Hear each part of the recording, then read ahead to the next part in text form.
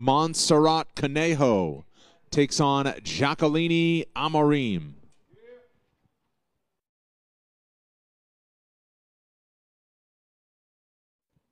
Next up, our only heavyweight matchup.